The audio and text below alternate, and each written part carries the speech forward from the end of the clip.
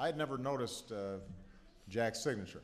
And, and when this was highlighted yesterday in the press, uh, I considered rescinding uh, my offer to appoint him.